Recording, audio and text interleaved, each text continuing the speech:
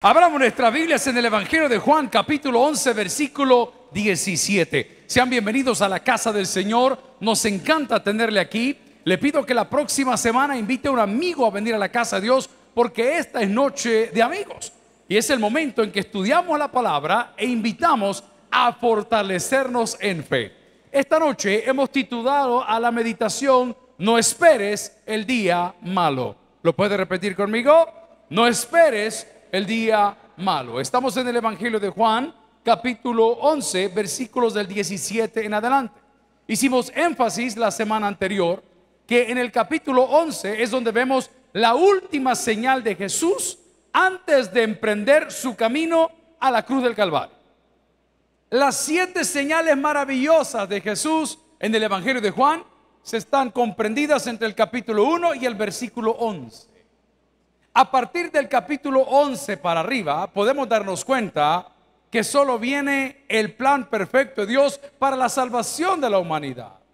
Pero aquellos que rechazaron, que no creyeron, que se burlaron de los milagros de Jesús, pues no tenían esperanza, ya que su palabra dice que de tal manera amó Dios al mundo, que dado a su Hijo unigénito, para que todo aquel que él cree no se pierda, más tenga Vamos a orar al Señor. Padre, que no tengamos ni debamos de esperar el día malo para volver a ti.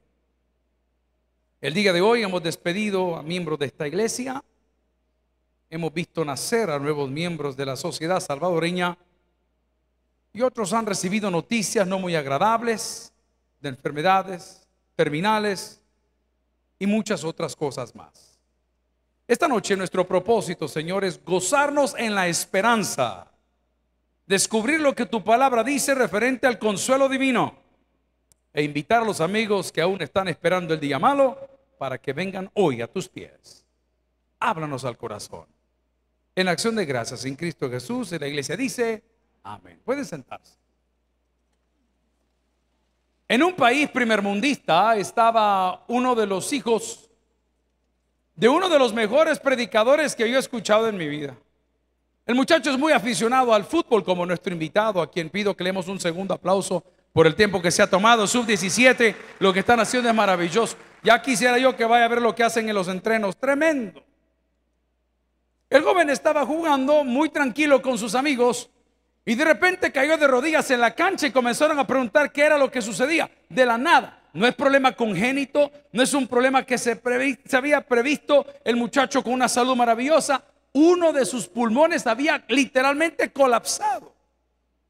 Haga de cuenta el caso que tomaba una vejiga y la pinchaba y le quedaba colapsado completamente y el joven se retorcía en el suelo viendo qué podían hacer. Su padre, que es mi amigo, me dice, mira pastor, en ese momento yo sentí que las cosas se me venían encima. Recuerdo que le dije que era un país primermundista. Más ha tardado usted en toser que la ambulancia ya la tiene ahí.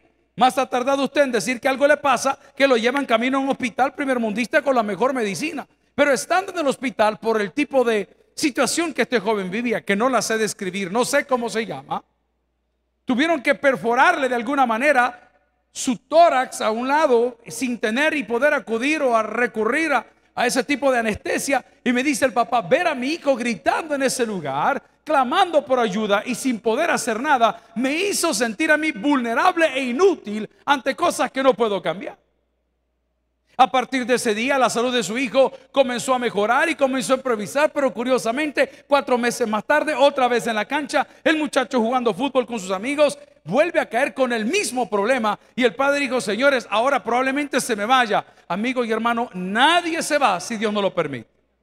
Pueda que esta noche hayas venido con el mismo problema que tuviste hace seis meses, con el dolor en tu alma, con la dificultad en la bolsa, con la separación de tu pareja, sin el trabajo que querías, pero tienes una cosa a tu favor, Dios está de tu lado. Invita a Dios a pelear tus batallas hoy y no esperes el día malo. No sabemos cuándo esto pueda pasar. Hablaba con un amigo que está fuera del país a 25 horas de vuelo de distancia. Le dije a los hermanos de la iglesia, comiencen el culto porque esta llamada eran seis llamadas perdidas, algo pasa.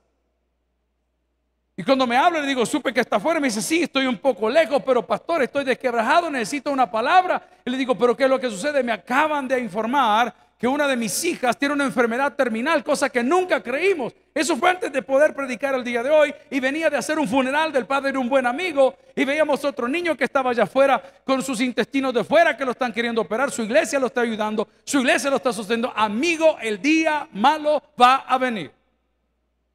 La pregunta es, ¿estás tú preparado? Estaba viendo estos jóvenes que son youtubers de mucho éxito porque tienen unas unas ideas maravillosas. Y este joven decía, todos quieren comerse el mundo, pero nadie está preparado cuando el mundo te pega la primer mordida a ti. Todo el mundo habla de las metas y de las cosas que vamos a hacer como que si la vida nos pertenece cuando sabemos que la vida es un don de Dios. Lo que voy a decir va a alterar los nervios de un montón de personas que están queriendo meter en la agenda salvadoreña la aprobación del aborto. Curiosamente, todos los que quieren aprobar el aborto ya nacieron. Si no me entendió, se lo voy a volver a repetir. Curiosamente, todos aquellos que quieren aprobar el aborto ya nacieron. ¿Qué hubiese pasado si estos locos son abortados por sus padres sin haberles preguntado? No tendríamos ese tipo de movimientos aquí. El día malo viene. Y la palabra que dice que debemos de estar preparados. Eso es todo. Y cuando hablo de estar preparado, no es como ese vicio que ha ahora prácticamente abrazado a muchas familias en Estados Unidos y en partes de Noruega y en partes de Europa, donde están haciendo eh, cultivos y tienen cosas escondidas y tienen un lugar por ser una guerra nuclear. Cuando te estoy hablando de estar preparado, es estar cimentado en Dios, que es tu hacedor, que es tu guardador y es el único que puede perdonarte la vida el día de hoy. No esperes el día malo. Veía un video que está bastante brutal y qué feo ver estas cosas en las redes, pero está tan de moda que es una noticia, hoy cualquier persona es un reportero. Una pareja de hermanos en carne vienen sobre no sé qué carretera del Salvador y a la altura de no sé qué cruce hay un bus parado, ahí se ve imprudencia de todo el mundo, del motociclista que se ve que viene a alta velocidad sobrepasando en el carril contrario cuando el bus está parado, como del otro caballero que al no ver nada, que lo siempre le enseña a uno, vea por abajo del bus, vea por abajo del bus, ahí va a ver la persona pasar. Pues los dos a ver qué pasó. La cosa es que el que llevó el peor golpe fue el de la motocicleta y pierde la vida la señorita. Yo me pregunto, ¿qué planes tenía ella para este fin de semana? Yo me pregunto cuáles eran los planes de ella para fin de año. Mira, este año sí vamos a ir a ver a mi mami. Este año sí vamos a a mi papi. Este año sí vamos a celebrar tu cumpleaños. Amigo y hermano, si estás aquí es porque Dios ha tenido de ti misericordia. No cuentes como que las cosas son propias, porque no sabemos, no sabemos. Lo que sí le quiero decir esta noche es que usted y yo debemos de estar preparados para el día malo, porque si le llega a uno, le va a llegar al otro. En Job hemos leído cuántas veces que este hombre era justo. Y muchos de nosotros creemos que la maldad solo visita a los pecadores. No, señores, la maldad anda visitando más rápido a las que hacen las cosas bien. Satanás anda queriendo quitar tu mirada de la cruz. Satanás está llenado de tantas cosas y de tanta prosperidad que no te queda tiempo ni de tocar la Biblia. Hoy pasas prendido con tu móvil todo el día. Jamás has tenido un momento de oración. ¿Por qué? Porque tienes tus amigos, porque tienes trabajo, porque tienes la universidad. Mira qué curioso que en el penal todos oran, todos cantan y todos quieren salir todos. Entran con una actitud y salen por pura misericordia de Dios. Y te lo digo que hace poco fuimos a visitar a alguien por ahí. Engreído, enojado con la vida. Si uno no le ha hecho nada, uno está para llevar un mensaje de salvación. Y cuando le das la copia a la Biblia, yo no quiero nada con Dios. Hermano, no sea ignorante. Se lo he dicho mil veces con respeto. Cuando una persona habla de esa forma, no es que él no quiera nada con Dios, es que Dios con él no quiere nada. Porque Dios a quien ama se revela. Y al llegar con ese joven, al tratar de dar una palabra, dijo, yo no sé qué, no sé cuánto. Y comenzó a decirme el encargado de penales, espérese pastor, creo que fue Borja a visitarlo también. Espérese pastor, me dijo, cuando aparezcan las llagas, entonces va a buscar a Dios. Cabal, al cuarto día ya tenía la chira, como decía mi pastor general. Ya tenía el hongo en la piel, ya le picaba, ya no podía dormir, ya comenzaron a palabrear dónde iba a dormir este o quién se le iba a reventar primero. Cuando vio eso, entonces dijo, si yo he dicho algo en contra de Dios, yo pido perdón. Qué persona más inteligente. porque dice la palabra, al que a mí viene, no le echo fuera. Dios es tan lindo que nunca te pregunta de dónde vienes, solo te pregunta hacia dónde quieres llegar. Amigo y hermano, no esperes el día malo. No esperes que llegue la mala noticia. Me he cansado de contarles a lo largo del tiempo las cosas que aquí han sucedido, grandes batallas en la vida de muchos de nuestros colaboradores y colegas, en nuestra propia vida. Usted sabe que es eso, se los he dicho, uno de los chicos que Dios nos dio, padeciendo una enfermedad que aparentemente era algo difícil, algo terminal, y estar preparados para todo, decir, Señor, ¿y qué hacemos? Estamos predicando, estamos estudiando, estamos desarrollando, pero Satanás le tira las peores pedradas a los mejores mangos. No creas que te vas a escapar. En el Evangelio de Juan capítulo 11, que quiero que baje conmigo, por favor, hasta el versículo 25, Jesús nos dice qué hacer en el día malo. ¿Qué hacer en el día malo? Evangelio de Juan capítulo 11, versículo 25. Mire las palabras de Jesús. Le dijo Jesús dos puntos. ¿Qué le dijo? Dame para acá al niño que estaba atendiendo la semana antepasada, que les comenté del cáncer, que estaba en su etapa final, que le quedaba su última radioterapia, que le dije, te quedan 120 segundos para ver la gloria de Dios, ya las consecuencias de la radioterapia comenzaron a llegar. ¿Y qué pasó? Su cabello se comenzó a caer, ahora faltan otras cosas, pero mire cómo es Dios de lindo, que cuando comenzamos a atacar esta enfermedad, y si usted tiene un pariente que la está padeciendo, la está viviendo, quiero contarle que el cáncer se comporta de una manera bien atípica. Si usted es una persona, no lo estoy diciendo, yo no soy chamán, no soy médico, solo estoy diciendo estadísticas que puedo probarle. Cuando una persona es positiva, cuando una persona es una persona de fe, las cosas cambian a su favor. Hoy se lo digo con estadística. El 65% de las personas que oran sanan más rápido que las que no oran. Cambia tu vida de oración y va a cambiar tu vida. Cambia tu vida de oración. Tu vida de oración es una visita al súper. Tu vida de oración es una vida de dependencia a Dios. Dice el Evangelio de Mateo, bienaventurados los que lloran porque ellos recibirán consolación. Y te voy a decir una cosa, no creas que consolación es el abrazo de tu papá y de tu mamá. No creas que consolación es el abrazo del primo. No creas que consolación es un premio que te van a mandar de Estados Unidos con mil dólares para ver cómo la pasas. Consolación significa que la presencia del Espíritu Santo de Dios estará en ti. Él es nuestro consuelo, es nuestro consolador. Entonces cuando la palabra dice, bienaventurados los que lloran, porque ellos recibirán consolación, significa que si te humillas bajo la poderosa mano de Dios, Él te va a exaltar a través de su Espíritu Santo. Y sabes que va a poner en ti fortaleza y fe, cosa que la gente no te puede dar. ¿Se acuerdan que les conté de mi amigo Mauricio, que de cariño le dicen bacha, que me lo encontré la semana pasada en el registro de armas, que es pelado y todo? Yo dije, este no me va a llamar porque el domingo no vino, me dijo que vendría. Hoy me escribió ¿Qué tal, pastor? Me puso, Mauricio, le digo, ¿qué pasó? Le dije a la congregación que te quería presentar. Aquí estamos, me dijo. Siempre interesados en conocer de Dios. Amigo y mi hermano, cuando Dios te toma por hijo, por muy ateo que seas, nadie te puede arrebatar de su mano. Por favor, en el día malo, vuelve al Señor. Vuelve al Señor. No te vayas resentido. Las personas estamos como afrontando las cosas de diferentes formas. Muchos se van al licor, otros se van a los medicamentos, otros se van a la parranda, otros simplemente se desarman. ¿Por qué? Porque no queremos volver al Señor humillado, no queremos reconocer que dependemos de Él. Pero la palabra en Mateo 5:4, véalo conmigo, por favor, acompáñeme o anótelo. Y dice la palabra: Bienaventurados los que lloran, porque ellos recibirán consolación. No espere el día malo. Venga el Señor ahora. Dígale, Señor, tú no sabes lo que estoy atravesando. No le he dicho a mi padre, no le he dicho a mi madre, no le he compartido con mis hijos. Y uno lo dice también, hay batallas que solo Dios sabe que estamos peleando. Pero te tengo una mejor noticia. Dios nunca ha perdido una batalla cuando alguien deposita su fe en Él. Permite que Él pelee por ti. Parecían en contra, sí, los gigantes, sí, de la tierra, de la tierra prometida. Parecía en contra David delante de Goliat, parecía en contra. Pero Dios se glorifica en las pequeñas cosas para que su nombre sea exaltado. No esperes el día malo.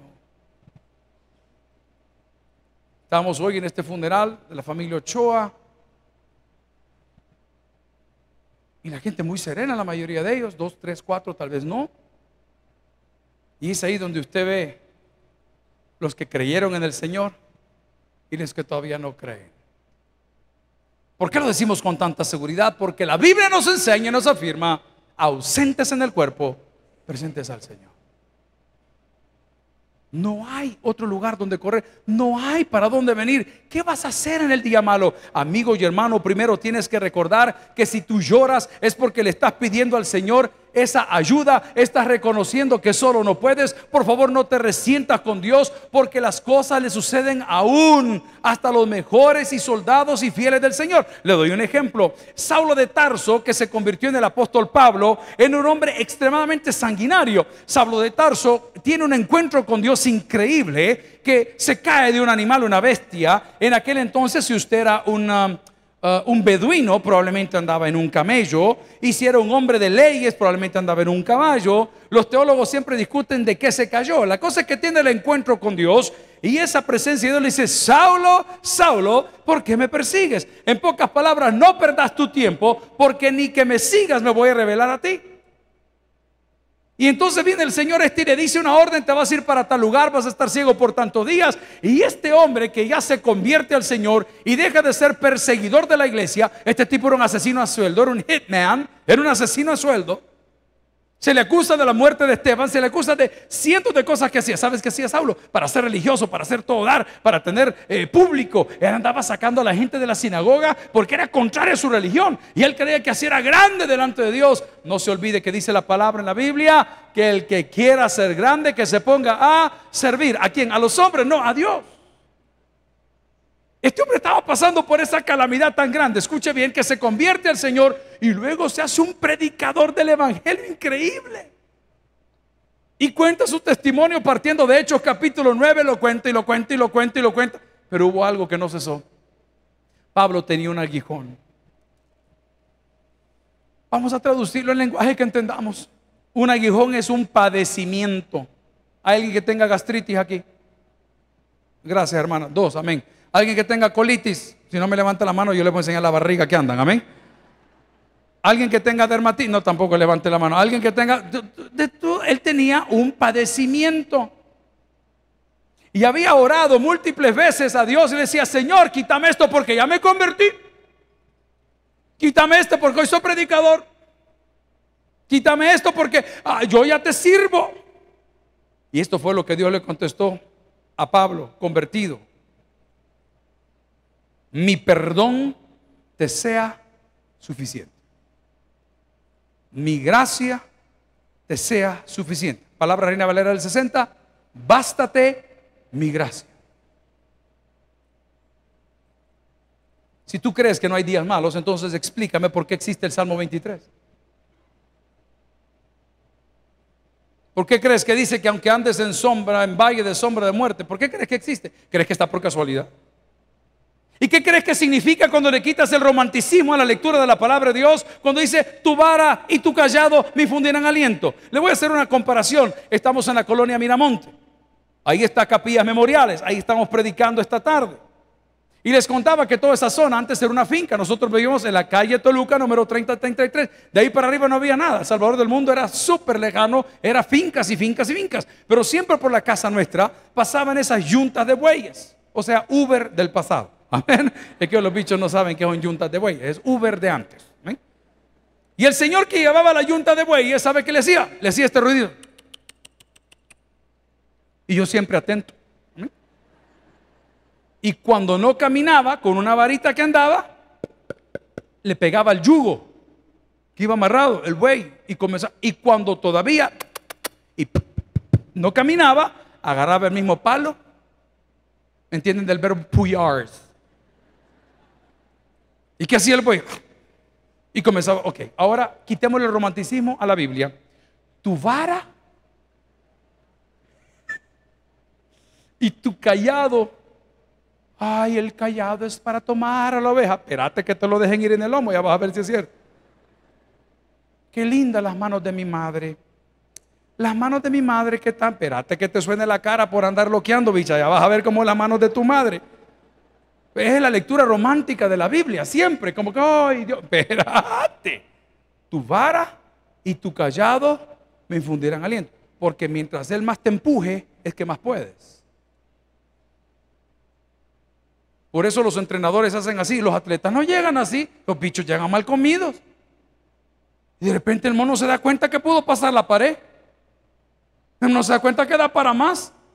Y el entrenador selecciona, este, este y este, tráemelos para acá, este y este, devolverlos, son diáconos del tabernáculo. A ver, este, agárralo para allá. Pero el entrenador rápido ve quién tiene la madera. ¿Y qué hacen? Lo hacen más. No, pues no vamos a ver fanáticos de los ejércitos. Pero les voy a contar una cosa. Hay una entidad dentro del ejército de Estados Unidos que los entrenan para graduarse y los pasan casi cinco días durmiendo solamente 30 minutos. ¿Cómo va a ser eso, hermano? Ellos logran romper esa pared. Los maratonistas, ellos logran romper esa pared.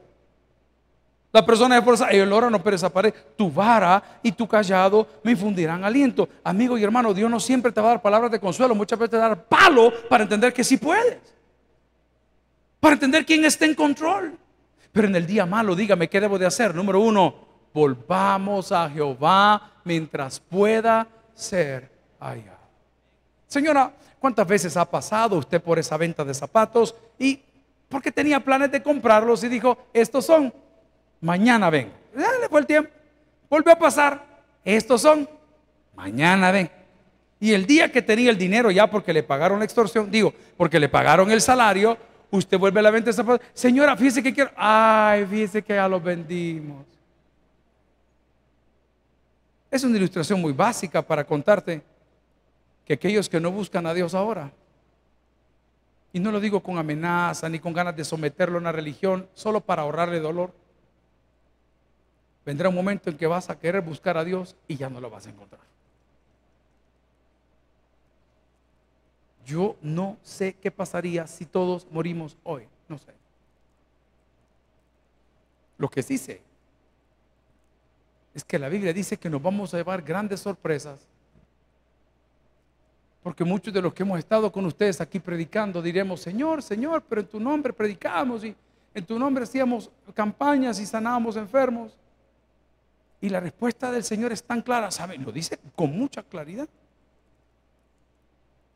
No les dice ustedes no son salvos. No, no dice eso. Alejaos de mí, ¿qué dijo? O sea, que si tú crees que eres salvo, pero sigues haciendo lo malo, ahí está tu respuesta. Entonces usted va a salir con su, con su interpretación, que al Señor le tiene muy sin cuidado como a mí. Pero es que usted no sabe quién yo soy. No, yo no. Pero la Biblia sí sabe y Dios también. Hacedores de maldad. Nos reuníamos con los del Colegio de Teología el día de hoy, ciclo 2, año 2019. ¿Cómo estamos de estudiantes? ¿Cómo estamos de liderazgo? Pastor, las aulas están llenas. Y le digo, espérese, espérese. O sea, hay gente, sí. Y ahora cuénteme algo. Los estudiantes que están inscritos hoy en nuestro seminario han presentado toda su solvencia de la Procuraduría, de la PNC, antecedentes penales. Todos, pastor. ¡Wow! Le digo yo al pastor encargado de la hermana, ¡qué bueno! Porque ya no graduamos hacedores de maldad. Porque resulta que cuando no te reviente el negocio, cuando ya no puedes vender los carros, cuando ya tu pupusería no sirve, cuando ya tu empresa quiebra, Dios me ha llamado al ministerio. Vaya, vivían este. Amigo y hermano, te hago la pregunta con respeto. Si tú murieras hoy, ¿a dónde irías? Más bien dicho, ¿qué dicen tus obras de a dónde irías? Ah, las obras son para ser salvos. No, las obras son fruto de haber sido hecho salvo por medio de Cristo. ¿Eres compasivo? ¿O te refieres a los demás, perdón por la palabra tan peyorativa, los choleros esos? ¿Usas esas palabras? Ves a la gente en el semáforo que está pidiéndote un peso, lo que quieran pedirte, a veces solo son posteros, por ahí están. Y cuando los ves te refieres a ellos como deberían de quitar esa gente de aquí. Y si Dios te lo puso para probarte, querido. Y si esa era la oportunidad de tu vida. Te voy a hacer una pregunta. Si tienes esa capacidad, que no lo sé. Las personas que laboran en tu casa, ¿tienen seguro social?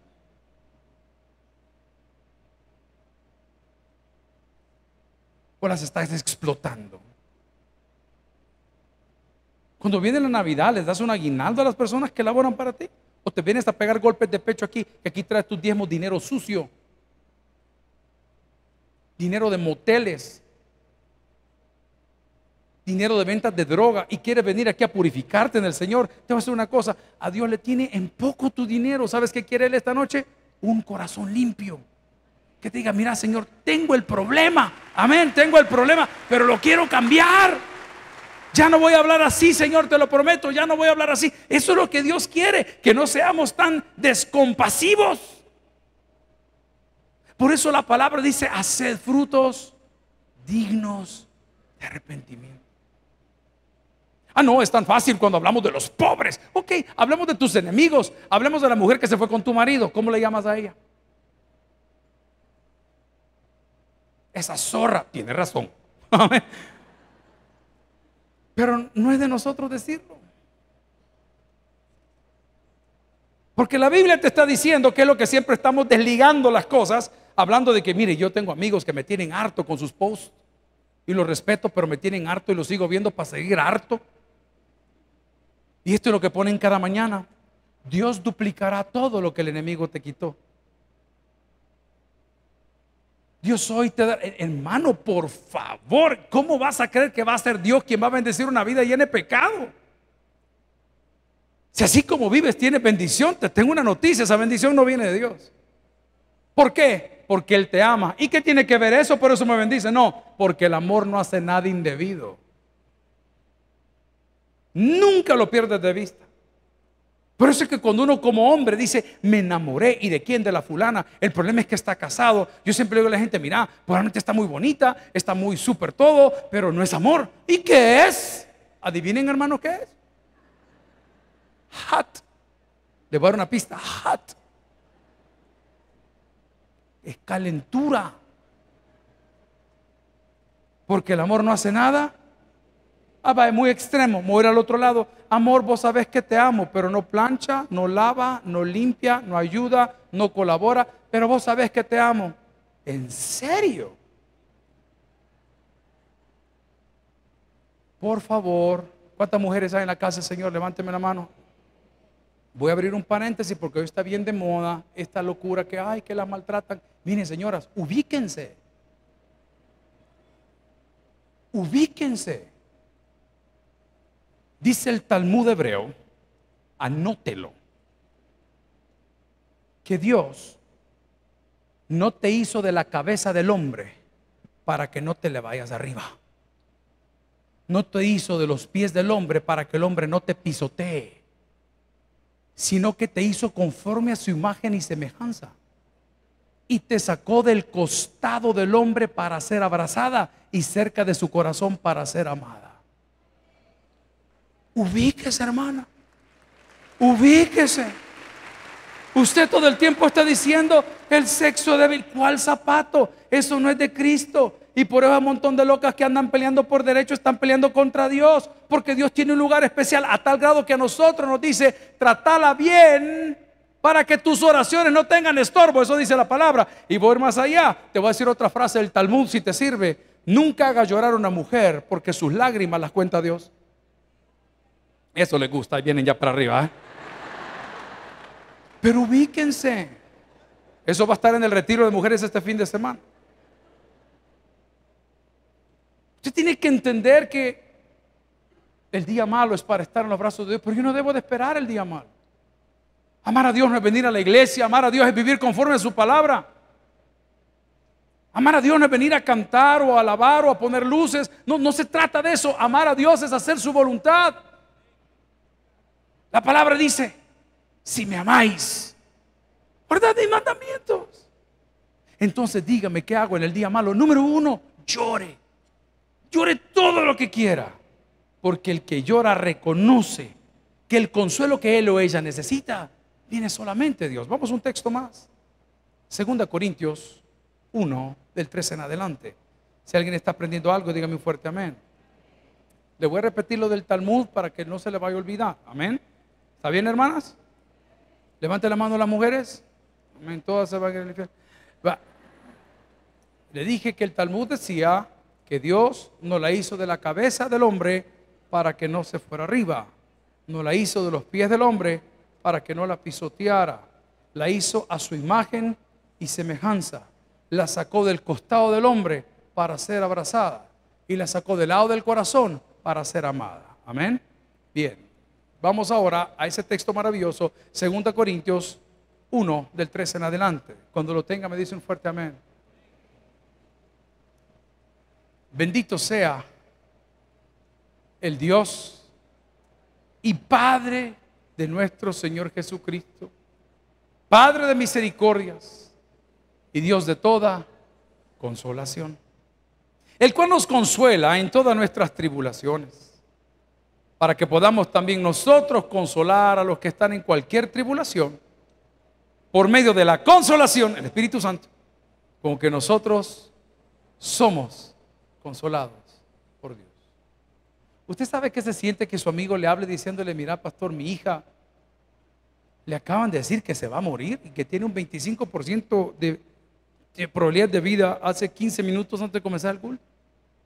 Gente con la que hemos convivido, gente que, nos conocemos, que hay, hay un amor. Digo, yo no sé qué se siente, pero ya hemos estado ahí. Pero su relación con su hijo es pero nosotros ya estuvimos ahí. Uno como padre dice, mira a mí que me hagan lo que sea, papá, pero que me toquen a mis hijos. Si usted me entiende, dígame fuerte amén. Este tipo está 25 horas de vuelo en avión, al otro lado del mundo, buscando un vuelo para venirse al Salvador. Y le digo, te voy a decir algo, y perdón que use estos términos bien neopentecostales, te voy a dar una palabra y la saqué de ese libro que se llama la Biblia. Estad firmes y ved la libertad con que Dios, parafraseando, os sacará del problema. ¿Firmes en qué? En la esperanza. En la esperanza. Mire que yo, yo admiro a la madre de familia que viene a nuestro centro de retorno a tratar de ingresar una persona y ya ese bicho lleva siete entradas y no, pero recíbalo otra vez, él va a cambiar, él va a cambiar. En esa esperanza, estás firmes en la esperanza y recordar que Dios nos dio a su Espíritu Santo no para que yo me quede con Él, sino para que comparta con los que no lo tienen, para que con el mismo consuelo que a nosotros nos dio, nosotros lo podamos compartir. Y le tomé la palabra contándole de nuestro hijo que estaba enfermo, ya con exámenes para el quirófano, sin comer tres días, nosotros abatidos, y de repente el médico dice, señores, a la hora de operarlo hay un problema, no tiene lo que tenía. Y nosotros decimos, Señor, qué increíble. Yo cada vez que revivo eso, puedo dar fe. Al Cristo vivo sirvo y en él el mundo está. Aunque otros lo negaren, yo sé que él vive ya. Su mano tierna veo, su voz consuelo da. Y cuando yo le llamo, muy cerca está. ¿Y qué dice el coro? Él vive, él vive Hoy vive el Salvador, conmigo está, me guardará, mi amante redentor. Él vive, Él vive, viven. Amén. ¿Sé qué? ¿Por qué? Eso le vas a decir Satanás del día malo me podés tocar el trabajo, me podés tocar la piel, pero no me podés tocar el corazón. No esperes el día malo. No esperes a que tu mami tenga 90 años para decirle que la quieres. No esperes a tu hijo que se envuelve en las drogas para abrazarlo y, y jugar con él como lo hacías antes en tu casa. No esperes a que la señora haya hecho sus tanates y se haya ido para abrirle la puerta. No esperes. La palabra del Señor en Salmos 23:4 nos habla de cómo manejar el dolor. Con valentía, con tenacidad y con determinación. El salmista dice en el 23:4, aunque ande en valle de sombra de muerte, no temeré mal alguno Aquí está la clave, porque tú estarás conmigo.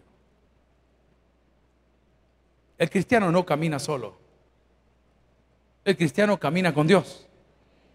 Y el que camina con Dios camina con el Padre, con el Hijo y con el Espíritu Santo. Por eso decía el pastor Hugo Solís, a él será la gloria, Jesús y yo somos mayoría. Querido,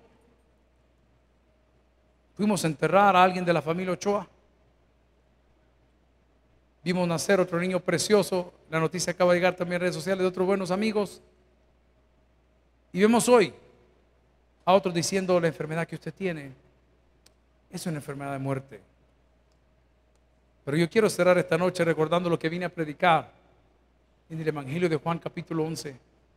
Que cuando el amigo de Jesús había muerto y las mujeres buscaban consuelo y preguntaban qué pasaba, Jesús se voltea y le dice, señores, lo que aquí está pasando no es para muerte, es para que el nombre de Dios sea glorificado en medio del dolor, en medio de la enfermedad, en medio del no trabajo, en medio de la no visa, en medio del problema familiar, una cosa te quiero recordar.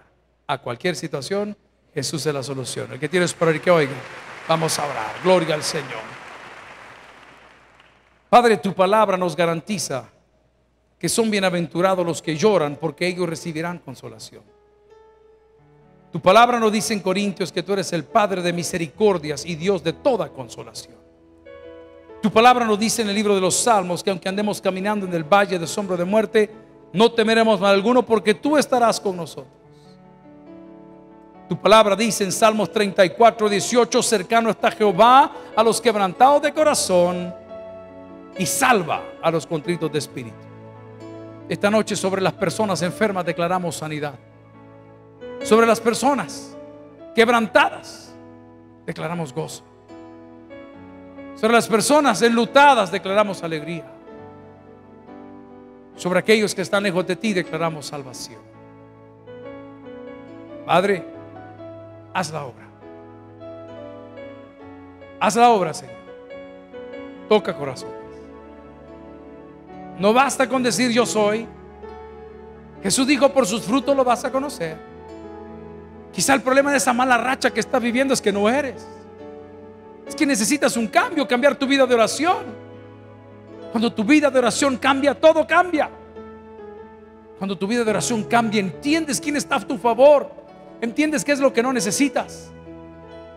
No vengas ahora, como dijo ese joven maravilloso, te quieres comer la vida, pero cuando la vida te pega la primera mordida, vas de retroceso. Tú sabes quién está peleando por ti esta noche no conoces a Jesús, ponte de pie y queremos orar por tu vida. Si estás en casa, pronto aparecerá una oración en pantalla, la cual puedes repetir. Es una oración de fe. Dile, Señor, yo te recibo hoy como mi único y suficiente Salvador personal. Yo creo que tú eres Dios, que moriste en la cruz por mis pecados. Resucitaste al tercer día, Señor, me arrepiento, soy pecador, sálvame, perdóname para cuando yo muera pueda estar en tu presencia por siempre. Esta noche te declaro mi Señor y mi Salvador en Cristo Jesús. Y la iglesia le da un fortísimo aplauso a nuestros nuevos hermanos en la fe.